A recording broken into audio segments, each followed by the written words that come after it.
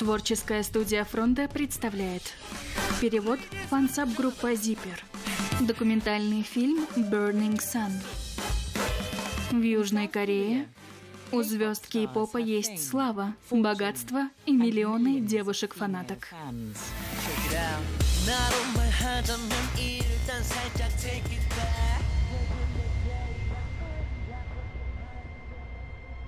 Но некоторые из них ведут двойную жизнь. Это скрытый мир, где делятся видео, на которых женщин накачивают наркотиками, насилуют и унижают. В клубе была одна комната. Что бы там ни происходило, этого бы никто не услышал.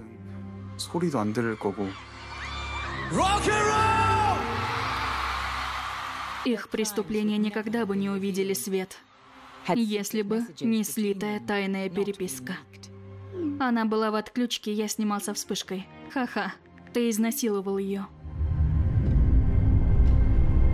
Это история о тех, кто пытался привлечь их к ответственности. Придя домой, я, я была в шоке.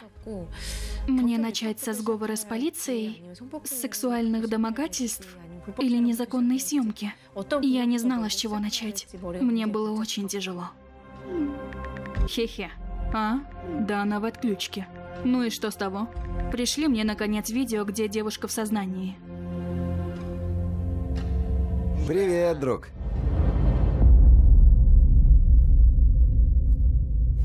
Burning Sun. Обнародование секретных кей-поп-чатов. Расследование.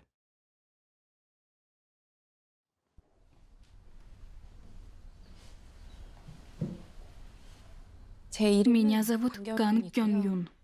Если вы спросите меня, зачем я стала журналистом в сфере развлечений, потому что я считаю, что эта сфера недостаточно освещена. Деньги, власть, наркотики, женщины, секс.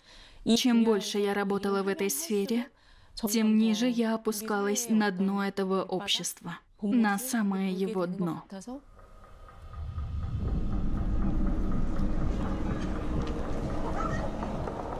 Причиной расследования стала кей-поп-звезда, которую поймали за тайной съемкой женщины.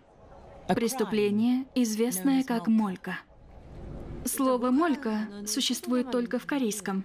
Оно означает «незаконно снятые кадры». Ничего не знающая женщина становится заложницей ситуации, в которой ее унижают.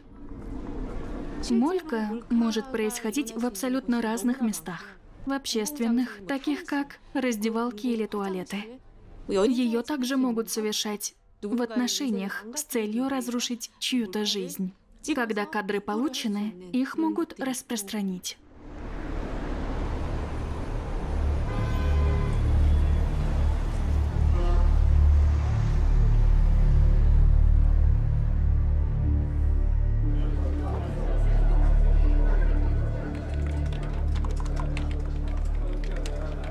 Я журналист Пак Хёшиль. Я была первым репортером, рассказавшим о том, что Чон Джуньона обвинили в сексуальных домогательствах 23 сентября 2016 года. Нам дали наводку, что Чон Джуньон тайком снимал свою девушку. И она, в свою очередь, обвинила его в молька.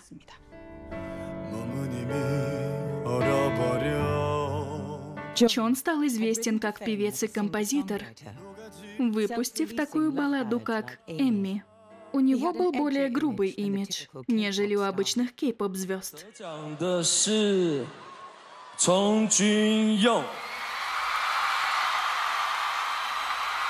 Критики высоко оценивали его творчество, а девушки просто сходили с ума. Я выложила статью в пятницу вечером, примерно в 22.50, и написала, что это срочные новости. Вслед за мной многие издательства как с цепи сорвались, пытаясь подтвердить эту историю. Будем звать ее Кён Ми. Они занимались сексом у него дома, и Чон Джуньон снимал Молька. а Кён Ми поймала его на этом. Переживая за то, что эти видео могут распространить по всей сети, Кён Ми написала заявление, сказав, что это молька. Спустя два дня полиция допросила Чона. Во время допроса большой проблемой стало то, что Чон категорически отказывался отдавать свой телефон полиции. Если бы он отдал телефон полиции, то они смогли бы провести судебную экспертизу. Скорее всего, он переживал, что они восстановят удаленные файлы. Поэтому, посоветовавшись со своим адвокатом, он решил отдать телефон частной компании судмедэкспертов. Узнав об этом, полиция решила запросить отчет, вместо того, чтобы провести досмотр телефона самим. Стало очевидно, что они специально торопили дело, чтобы просто замять его как можно скорее. Позже всплыла запись, на которой адвокат Чона оказывает давление на судебных экспертов. Мы говорили с полицией. Они скоро приедут. Я позвонил, потому что... Неважно, можно их восстановить или нет. Но полиция сказала, что будет лучше сказать, что их невозможно восстановить. Это просто ненужное судебное разбирательство. Была организована пресс-конференция, чтобы очистить его имя. Я и представить не мог, что шутка, которая должна была оставаться между нами, станет известна общественности и разрастется в огромный скандал. Я ошибался, когда думал, что если я не виновен, то все тихо уляжется. Общественность видела в Чон Джуньоне жертву. Его фанаты были в ярости, ведь их кумира фактически публично оклеветали. Досталось и мне, поскольку я первая выложила статью об этом.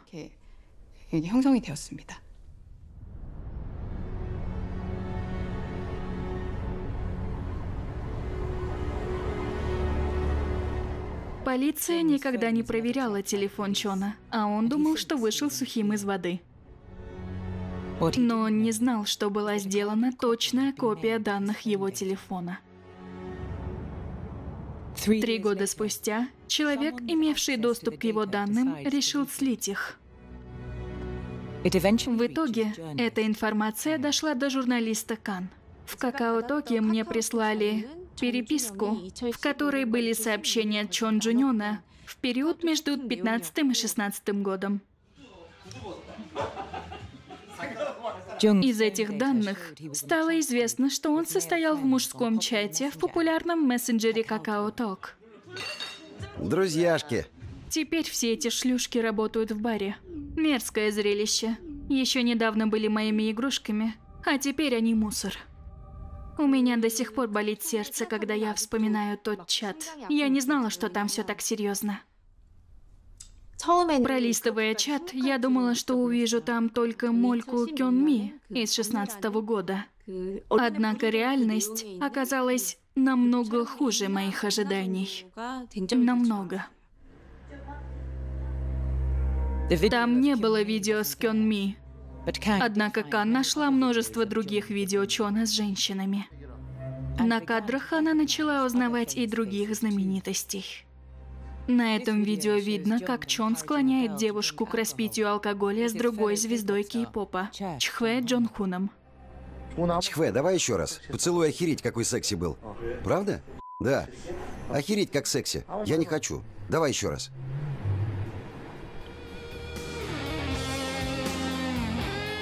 Чхве Джон Хун состоял в рок-группе FT Island. Он был главным гитаристом, и на их концертах ему отводилась центральная сцена.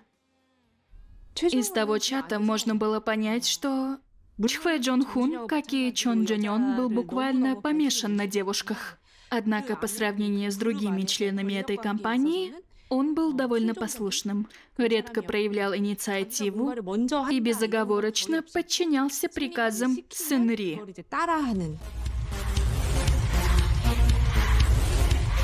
Сенри являлся самой крупной мегазвездой в их компании. Он прославился благодаря популярнейшей кей-поп-группе Big Bang. Также у него была сольная карьера.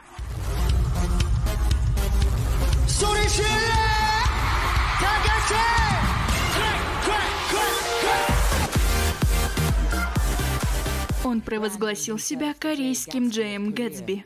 А в своих видео он вовсю показывал свой тусовочный стиль жизни. Прямо как Гэтсби из «Великого Гэтсби», он преуспел в раннем возрасте и был одним из немногих, кто закатывал величайшие вечеринки. По этой причине он называл себя Синсби, связывая себя с Гэтсби. Кан начала в хронологическом порядке читать сообщения в Какао-Токе, отслеживая тайную жизнь друзей знаменитостей. Сообщения начинаются с конца 15 года, когда сын Ри провел серию вечеринок в честь своего дня рождения. Сын Ри пригласил на них потенциальных бизнес-партнеров и предупредил Чона вести себя подобающе. Эта вечеринка очень важна для нашего будущего. Не попадите в неприятности. Не нервничай. Я нервничаю, когда ты целуешься в клубе с высунутым языком. У Синри были инвесторы в Японии, в Китае, Гонконге и Тайване. Благодаря своей репутации, когда он туда ездил, он мог найти контакт с самыми богатыми людьми. Он видел крупные возможности для расширения бизнеса и считал, что может стать одним из богатейших людей Кореи. Похоже, у Ке гости с Тайваня. Я позабочусь о них. О девушках тоже? Приведи тех, кто хорошо делает свою работу. Я пока приглашу дешевок. Я вызвал проституток. Позаботься о них, когда они приедут. Для Сенри девушки служили инструментом, чтобы получить инвестиции от богатых людей.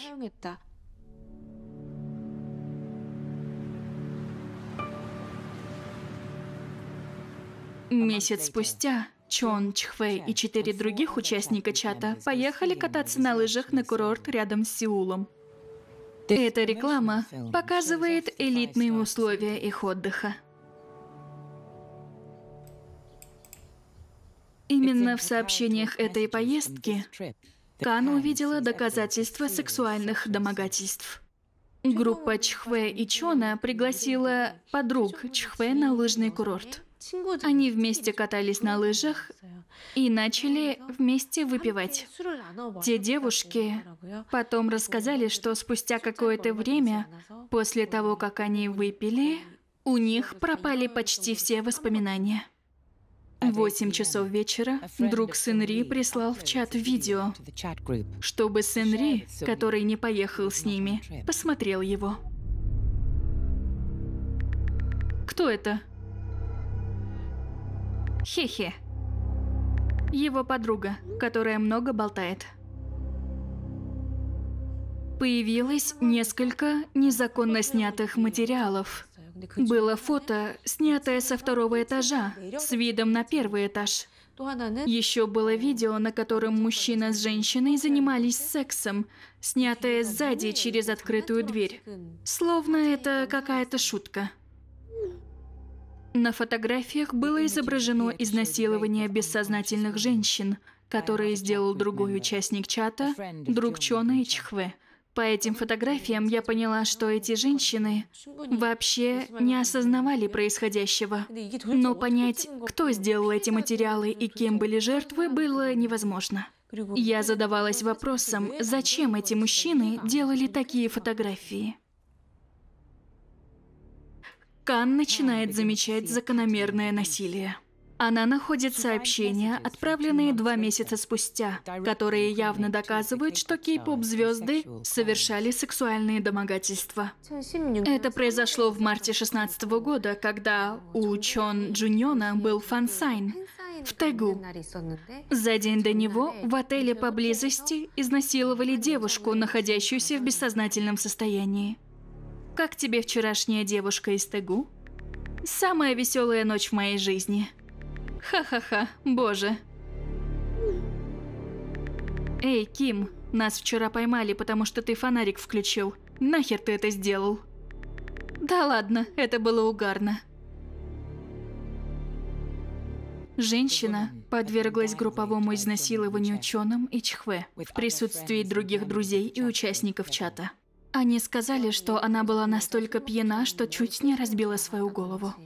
Я испугался вчера, думал, у нее сотрясение. Был звук треска черепа, когда она упала. Мы с Чоном просто охренели. Поскольку большая часть их фанатов девушки, они постоянно старались создать милый образ, но эти сообщения показывают их истинные лица. Они вовсе не милые айдолы, а отвратительные люди, которые использовали женщин как игрушки. Делали так, чтобы они не смогли дать отпор. Или же оскорбить их. Из-за их милого образа их сложно было ненавидеть. Они хвастались своими поступками, словно те девушки были какими-то трофеями.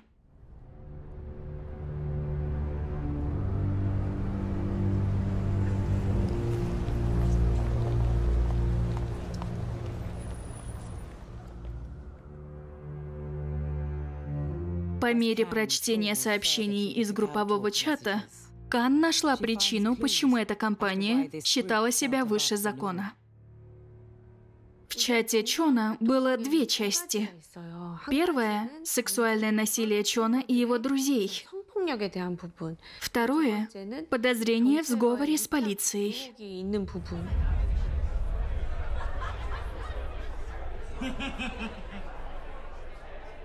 Чхве из FT Island поймали на пьяном вождении. Но тогда его защитил какой-то полицейский. Когда я это увидела, то не могла поверить своим глазам. Сегодня мне позвонили из участка Йонсан. Что сказали? Полицейский, отвечающий за мое дело, поздравил меня с днем рождения. Чхве хороший опыт получил. Побегал от полиции. Представляю, какой азарт. Неосознанно приходишь к выводу, что за Сенри и его дружками стоял очень влиятельный полицейский. Фактически, в этом мире Сенри был боссом. Друзья прислали это видео Сенри. С ним была девушка на вечеринке.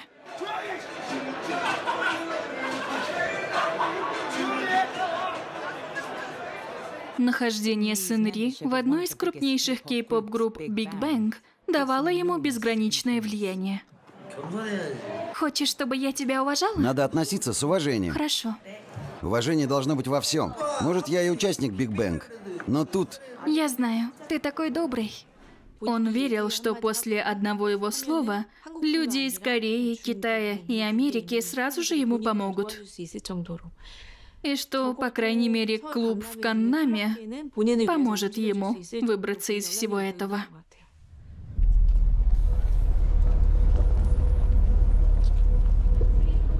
Каннам – это элитный район Сеула. Однако днем и ночью город совершенно разный. Днем там много шикарных ресторанов, бутиков и крупных компаний. Ночью же там открывается множество ночных клубов, баров и заведений для развлечения взрослых. Сын Ри использует свои контакты с полицией и инвесторами, чтобы стать крупным игроком прибыльного бизнеса ночных клубов Каннама.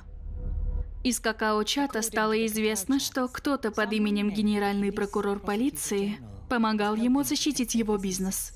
Кто-то вчера из другого бара сделал кучу фоток интерьера и что-то вынюхивал, но генеральный прокурор полиции сказал, что это из зависти. Переживать не о чем, он во всем разберется.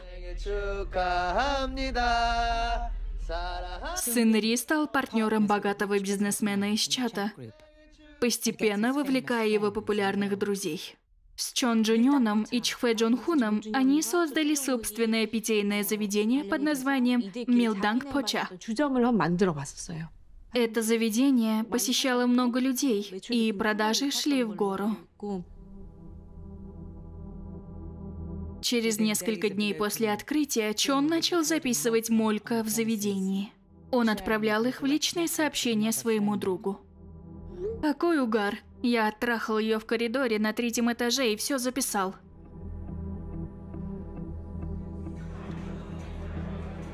Именно в это время, в августе 16-го, данные телефона Чона заканчиваются. Потому что жертва Кён Ми обвинила его в Молька, и он отдал телефон судебным экспертам. Но полиция не проверила его сообщение, и его оправдали.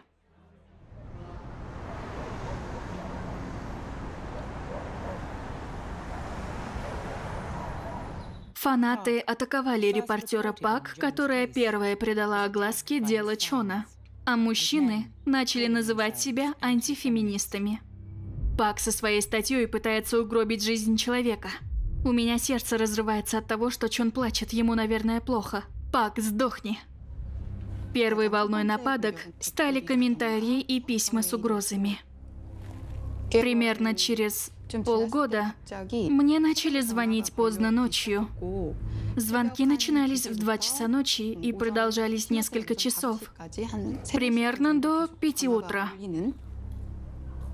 Если же я не брала трубку, мне начинали присылать непристойные сообщения и ругательства. Я тогда была беременна, и у меня был сильнейший шок. Было действительно жутко. Ну и рожа. Так и хочется на нее наступить. Какая же ты тварь! Мне было так плохо морально, что я не могла выйти из дома. Было очень тяжело. После этого у меня случилось два выкидыша, и теперь я бесплодна. Было очень тяжело, но сдаться я не могла, ведь это означало бы, что они победили. Иначе другие девушки-журналистки могли бы оказаться в такой же ситуации. Поэтому мне нужно было выстоять любой ценой. Мне было больно наблюдать за происходящими событиями. И когда я писала статью о деле Чон Джуньона, я очень сильно переживала о том, что на меня обрушатся такие же или даже хуже нападки фанатов. Эмоционально это было очень непросто.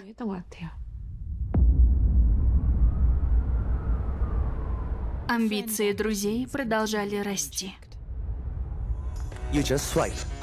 Пути любви неисповедимы? Нет, любовь происходит по движению пальца. Сын Ри стал лицом Тиндера в Южной Корее. Давай встретимся. Тиндер. И он затевает смелейшую бизнес-идею. Запуск крупнейшего клуба в Каннаме. Но как директору ему нужны вложения.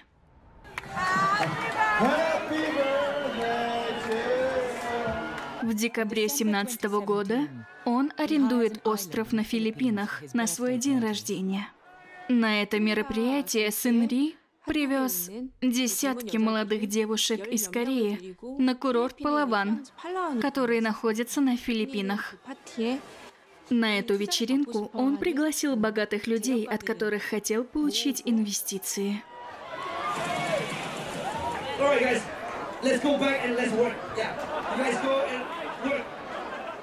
Благодаря этим связям он получил крупные инвестиции и смог открыть клуб с названием Burning Sun. На то время это был самый крупный клуб в Каннаме.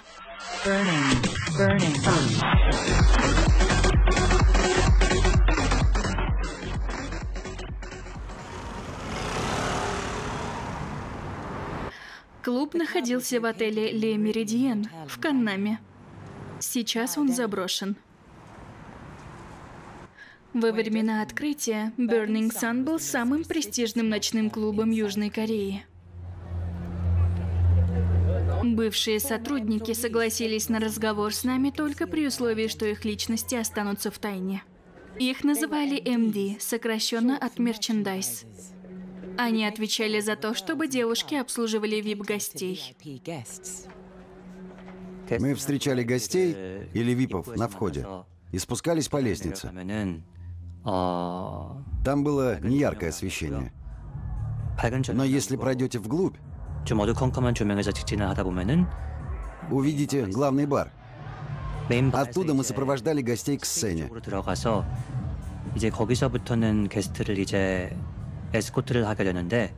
А випов отводили прямо к их столикам. О богатых випах переживать не надо было.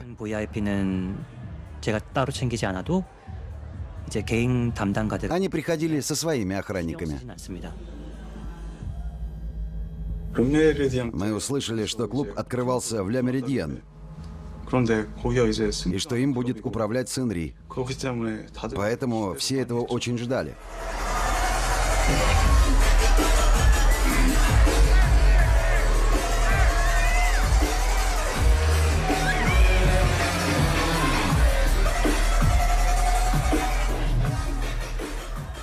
썬은 Burning Sun был особым клубом, 특별한 메리트는 потому что директор сын Ри был там диджеем, DJ를 한다는 게 메리트가 있었고요. 그로 인해 что привлекало много девушек, 와서 그만큼 и все больше парней бронировали там столики. 수 있다는 게 큰 포인트였다고 생각을 합니다.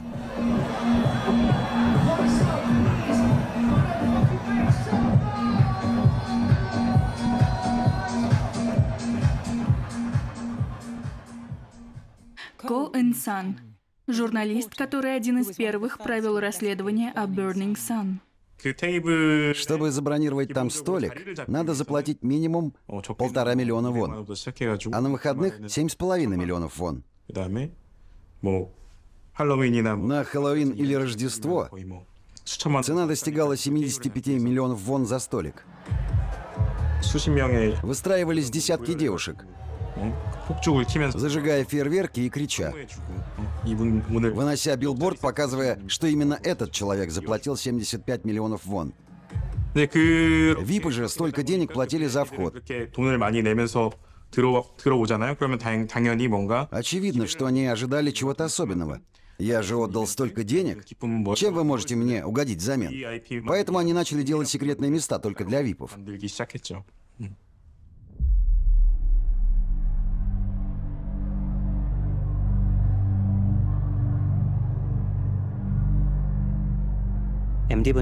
Чтобы привлечь посетителей мужчин, МД фотографировали красивых пьяных девушек тайно, без разрешения, и присылали фотографии ВИПам. Чтобы общаться в клубе, МД переписывались в какао-токе. Вип-комната ищет горячую девушку. Хорошо, сейчас поищу. Он меня преследует, помогите с поисками. Горячая больше не нужна. Найдите просто симпатичную. Ладно, я поищу. Помогите мне сделать хоумран.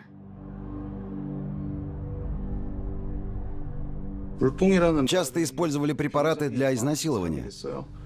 Обычно их использовали посетители из приватных комнат. В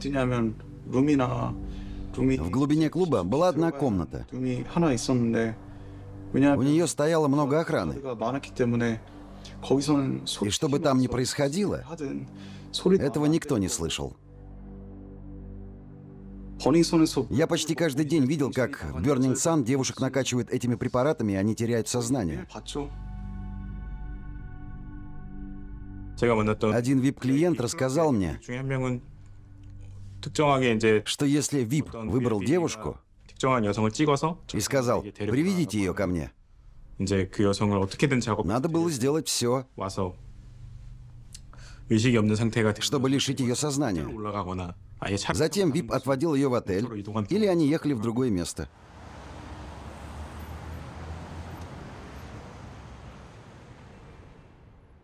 Молодая девушка, которая была постоянным посетителем Burning Sun, согласилась поделиться с нами своим опытом. Мы защищаем ее личность.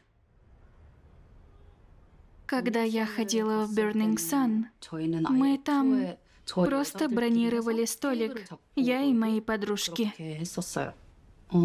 Кажется, э, это случилось после э, одного-двух ну, напитков. Я пошла с подругой в туалет и сказала, я э, странно себя чувствую, я пьянею быстрее обычного. Видимо, мне больше не стоит пить. Потом мы вернулись за столик. Я почувствовала себя странно и когда я очнулась, я увидела, что нахожусь в кровати. Она неожиданно оказалась в номере отеля с мужчиной, который угощал ее напитками в клубе. Он вдруг бросился на меня и начал агрессивно срывать с меня одежду. Я пыталась закричать, но он закрыл мне рот. Я изо всех сил старалась освободиться и несколько раз пыталась подняться, но он сел на меня сверху и придавил. Я не могла ничего сделать под тяжестью его тела. Он зажал двумя руками мой рот, чтобы я не могла кричать. Постоянно давил на мою грудную клетку, как это делают врачи, когда пытаются спасти кого-то. Я не могла дышать. Мне было очень больно. Особенно сильно болели ребра из-за его веса. Сколько бы я ни сопротивлялась, ничего не менялось. Поэтому я просто сдалась. Я боялась, что иначе он убьет меня. Мне было ужасно больно, но он не прекращал. Продолжал меня домогаться. По-всякому. Я просто сдалась. И лежала на кровати. Когда все кончилось, мне стало тошно. Я схватила мусорное ведро, и меня вырвало. После этого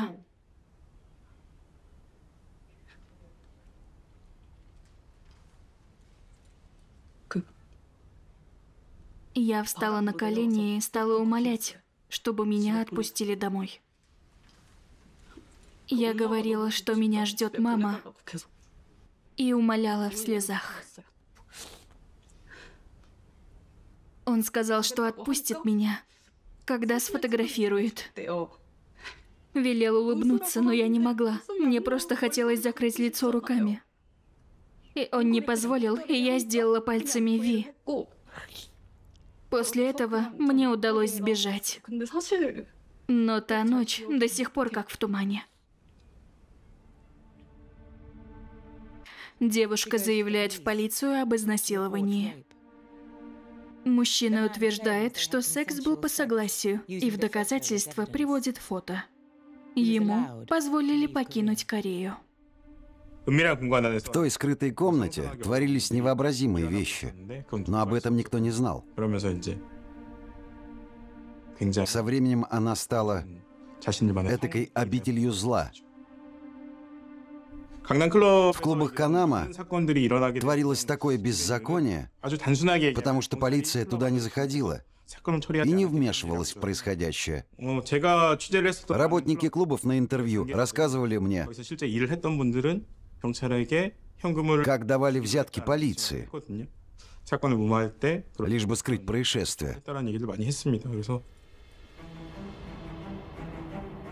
В январе 2019 года империи Сынри нанесли открытый удар. Посетитель Burning Sun заявил, что его избили работники клуба, а стоявшие рядом полицейские бездействовали. На записях с камер наблюдения видно, как его избивают на улице. Молодой человек пострадал от рук охранников клуба. Он получил серьезные повреждения ребер, а полиция, которая была поблизости, арестовала не нападавших, а самого пострадавшего. В это же время появляется запись того, как работники клуба тащат наружу девушку. Проблемы раскрывались одна за другой, и ситуация начала выходить из-под контроля. Затем общественность была шокирована новым видео, записанным внутри клуба. Оно известно как видео из красного туалета. Оно набирает популярность на порно-сайтах. Один из работников рассказал мне, что VIP-клиент позвал его в туалет и попросил снять видео. Видео сняли, и оно разлетелось в интернете. Он переживал, что из-за этого могут начаться проблемы. На том видео была девушка с отсутствующим выражением лица и совершенно голая. В то время много подобных видео, да и фото снимали и распространяли. Так что я не воспринял тот случай всерьез.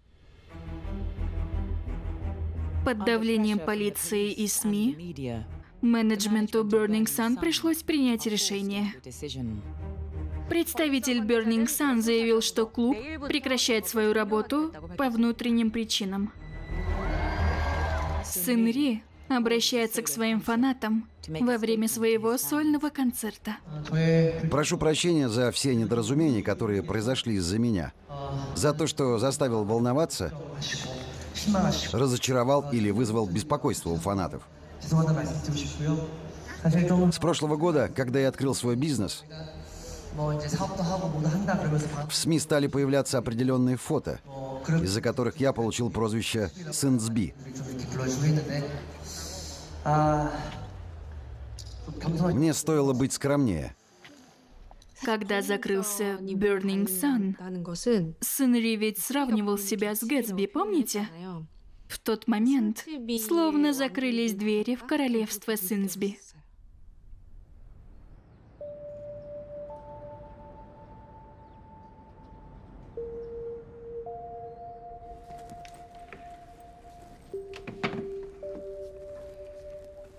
Кан понимает, что данные с телефона от информатора, доказывающие вину Синри и его друзей, наделают много шума. Во время своего расследования я была беременна.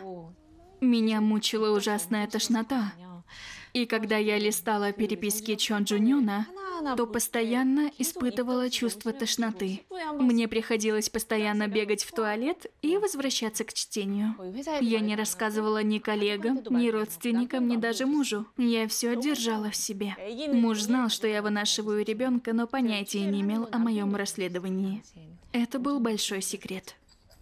Казалось бы, самое важное в моей жизни тогда происходило внутри моего тела, но я не могла бросить свое дело.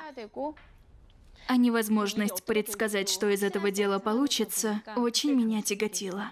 Я чувствовала себя одинокой и обессиленной.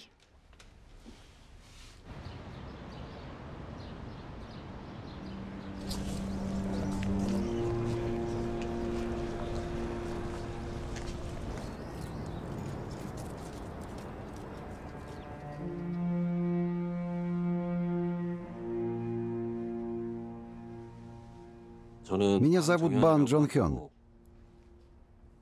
Я работаю адвокатом в Южной Корее. Впервые я столкнулся с этими чатами, когда анонимный информант оставил USB-носитель с данными в почтовом ящике моего офиса. Там оказались данные с телефона музыканта Чон Джунёна. 사실은 이게 이거 Я решил, что их нужно обнародовать в СМИ 공론화를 할 필요가 있다라는 생각을 했어요. 그래서 그래서 이제 강 и 기자 стал работать вместе с журналисткой Кан. 이제 협업을 하게 됐던 거고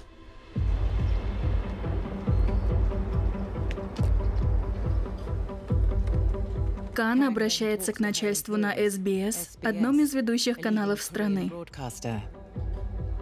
и получает разрешение опубликовать статью о Сенри, а также переписку с телефона неназванной знаменитости о том, что он поставлял проституток для инвесторов в клубах. Я переживала, поверят ли мне. Ведь все-таки я светский обозреватель, а выдвигаю столь серьезные обвинения. Смогут ли мои слова убедить людей? Определенно, меня это очень сильно волновало. Новость немедленно выходит на первые полосы. В считанные часы Сынери прибывает в полицейский участок для дачи показаний. Ну, для начала, сегодня утром я обратился в полицию с просьбой тщательно меня допросить. Я намерен развеять подозрения как можно скорее и изо всех сил содействовать Насчет следствию. проституции и наркотиков Бернинг Сана. Спасибо. Ответьте на вопрос. Допрос длится почти 9 часов.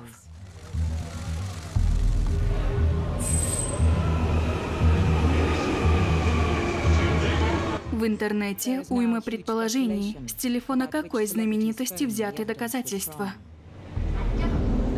Кан пытается подтвердить подлинность других ключевых улик. Речь идет о сообщениях, которые намекают на связи звезд в полиции. Ю вчера писал генпрокурору. Скоро с тем, кто нас дал, разберутся.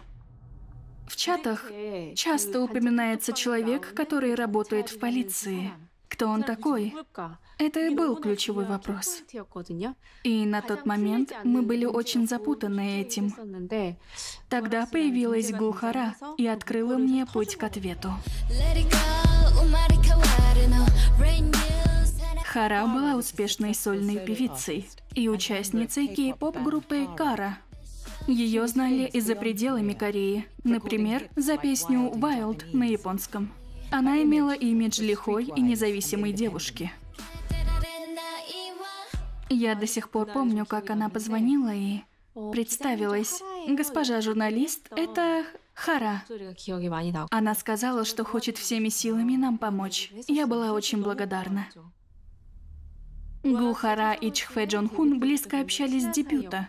С Сын Ри и Чон Джуньоном они тоже были знакомы. Она поделилась, что в кругу друзей на встречах видела, как эти двое часто сидели в телефонах, и у них там было нечто странное. И она согласилась с тем, что я писала в статье.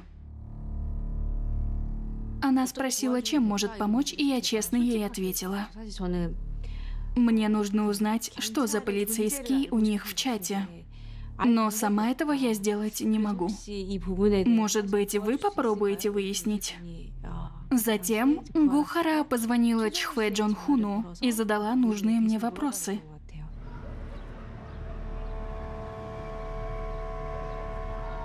Я Гу Хоин, старший брат Гу Хары. Моя сестра и Чхве Джон Хун были близкими друзьями еще со времен стажерства.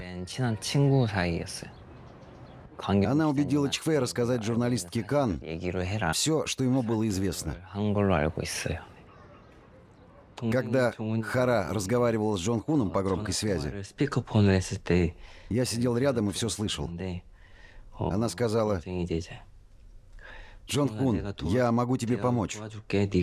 Расскажи журналистке все, как было». Кан ведет запись телефонного разговора с Чхве. Она просит указать на полицейского, упоминаемого в чате как генпрокурор. Судя по всему, он вращается в верхушке, да? Да-да. Мы лично пересекались только однажды, играли в гольф. Говорят, сейчас он в голубом доме. А раньше работал в полиции. Чхве Джон Хун дал мне понять, что генпрокурор — это не выдуманный образ, а вполне себе реальный человек по имени Юн Кюгин. Он служит в резиденции президента. Гухара помогала ему в этом признаться. Гухара была по-настоящему храброй девушкой. Она рассказала мне, что сама чуть не стала жертвой слива порно с целью мести. Гухара пострадала от незаконной съемки за год до этого. Она подала в полицию на бывшего, который угрожал слить ее интимные фотографии. Я помню, как парень угрожал уничтожить ее музыкальную карьеру. Став певицей, сестра исполнила свою мечту и рисковала все потерять. Поэтому так боялась публикации фото, что на коленях умоляла парня не делать этого. По интернету разлетается запись с камеры в доме Хары, где ее бывший заходит в лифт А Хара стоит на коленях, видимо, умоляя не публиковать фотографии. Когда я увидела, что звезда, блиставшая на сцене, умоляла на коленях мужчину не публиковать ее фото, мое сердце просто разрывалось от боли. Я понимаю, что Хара была в отчаянии от страха потерять все, что у нее было. В конце концов, бывшего парня Хары признали виновным в насилии и шантаже.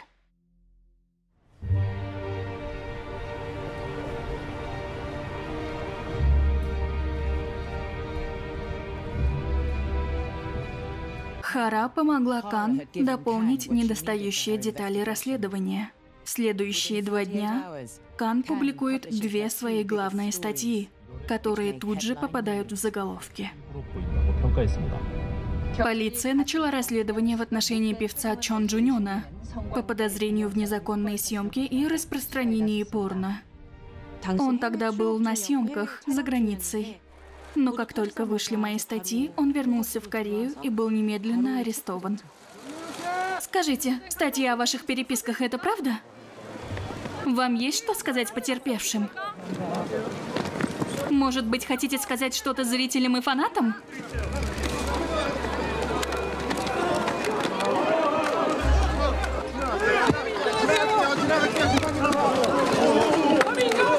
Вы признаете обвинение? Старший инспектор Юн, упоминаемый в переписке с Инри и Чон Джуньона, как генпрокурор, снят с занимаемой должности.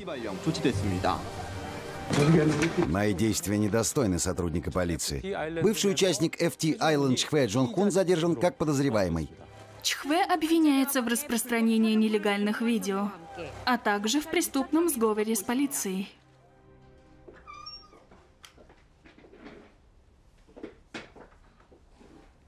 Особенность этого дела в том, что многие жертвы даже не знали, что они стали жертвами.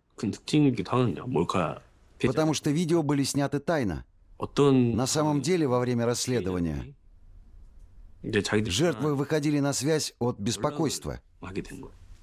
Они так и говорили. В такой-то промежуток времени я встречалась с этими людьми.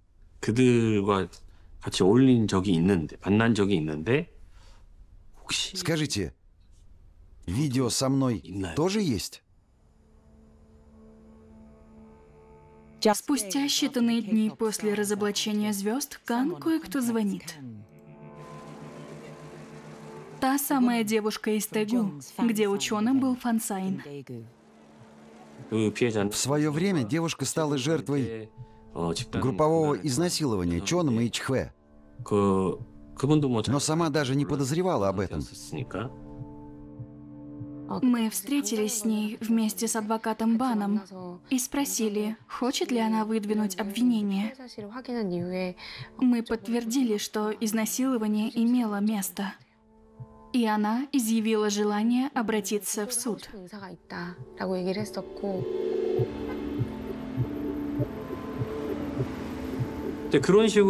Подобных звонков поступало много. Шесть из обратившихся к нам девушек пожелали выдвинуть обвинение.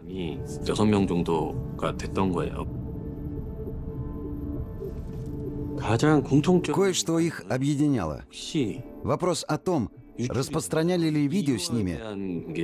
Сильнее всего тревожил каждую. Эта тревога свойственна вообще всем жертвам таких преступлений.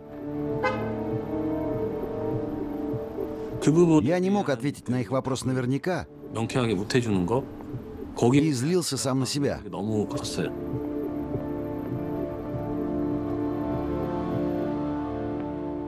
Бан безвозмездно выступает адвокатом пяти анонимных жертв. Он инициирует судебное разбирательство в отношении Чона, Чхве и других за изнасилование и распространение видео. Пусть полиция как следует выполняет свои обязанности. По мере дальнейших арестов, скандал обостряет и без того напряженную ситуацию с правами женщин в стране. Десятки женщин выходят на протесты, требуя, чтобы полиция делала больше для их защиты. Для женщин в этой стране повсюду клуб Burning Sun. Некоторые мужчины жаловались на то, что несправедливо стали мишенью феминисток. Сегодня утром прошел обыск у директора Burning Sun по фамилии И.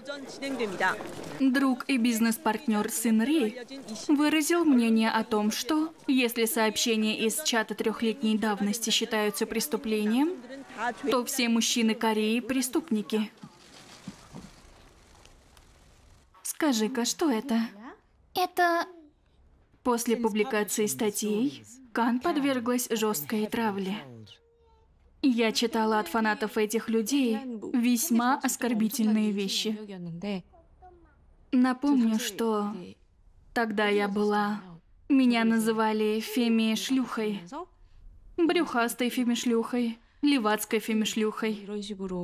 И все это приписывали к моему имени. Это продолжалось три года.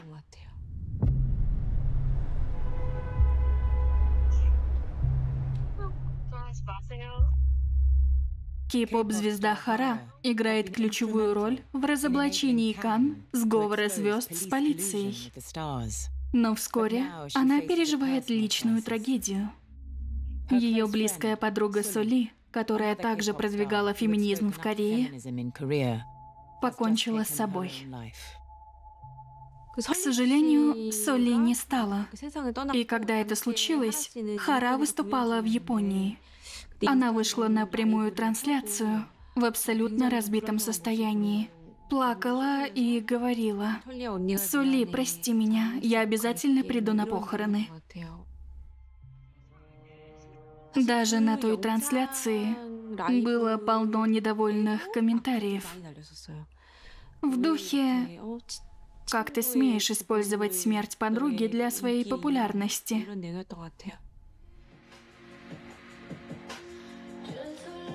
Я проснулась и никак не могу уснуть. Не спится.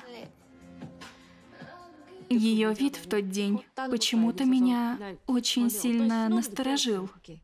Я почувствовала серьезную опасность, поэтому отправила ей сообщение. Хара, я восхищаюсь твоей смелостью. Надеюсь, ты будешь счастлива. Хара ответила, казалось бы, довольно радостно. Со мной все хорошо, я буду сильной. От ее ответа мне сразу же полегчало.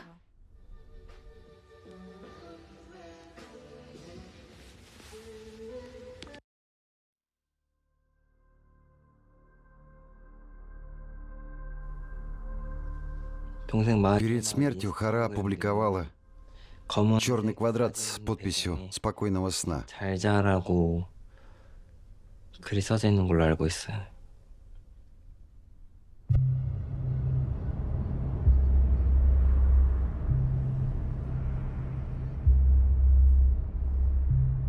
동생 Помню, после похорон сестры 집에 мы пришли домой.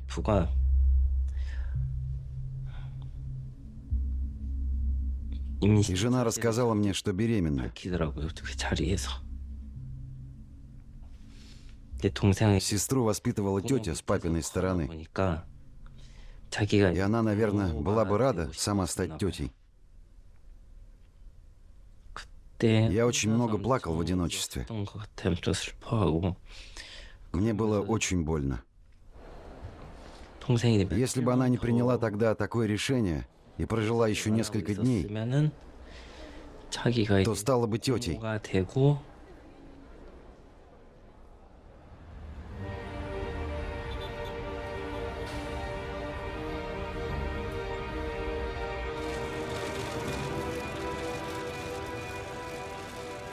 Спустя пять дней после смерти Хары суд приговорил Чона к шести годам за групповое изнасилование в Тегу, нелегальную съемку и хранение мольки.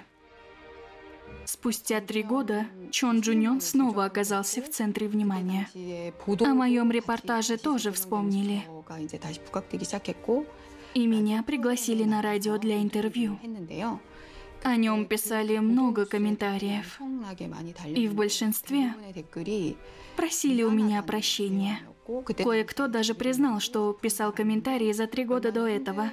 Также многие выражали сочувствие за то, что мне пришлось пережить. Когда-то дело Чон Джуньона меня сильно опозорило и заставило поверить, что я недостойна быть журналисткой. Когда же моя репутация была полностью восстановлена, я была безумно счастлива и гордилась собой как никогда. Прошу прощения.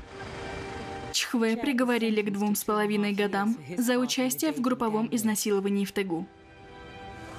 Старший инспектор Юн, известный как генпрокурор, был оправдан по всем обвинениям, связанным с участниками чатов. Сын Ри признали виновным в предоставлении проституток инвесторам, растрате средств и подстрекательстве к насилию. Апелляционный суд приговорил его к полутора годам заключения.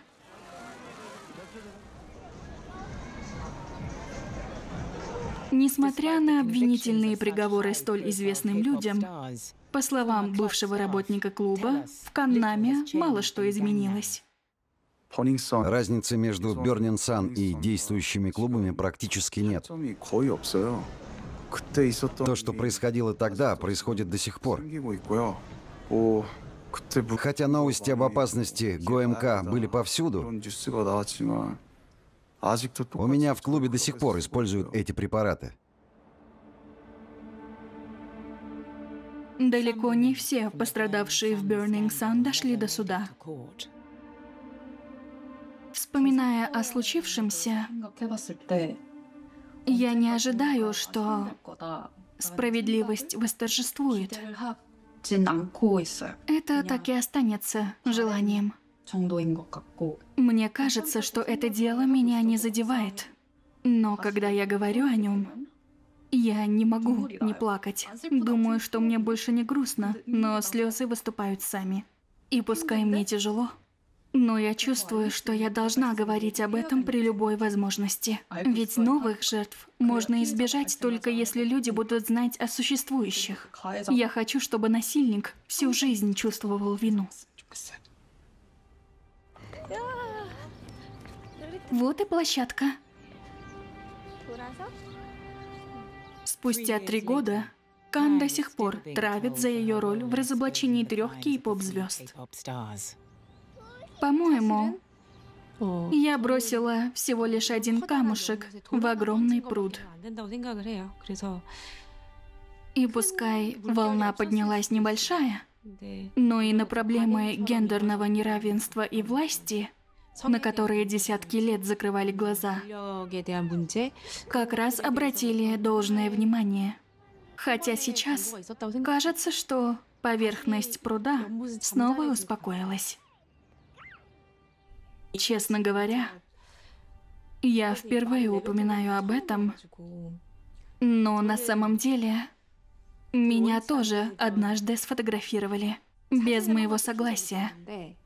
Когда я это поняла, я выхватила телефон и нажала кнопку «Удалить». Это было во время моего студенчества, то есть 20 лет назад. И даже секундная мысль о том, что мое фото может попасть в чужие руки, меня ужасно напугала. Эта тревога преследует меня каждый день. Чон Джуньон вышел из тюрьмы в марте 2024 года. Преступления, связанные с тайной съемкой и распространением видео, участились в 11 раз за последние 15 лет. Озвучено творческой студией Фронда. Роли озвучивали Неосити и Ровный. Спасибо за просмотр.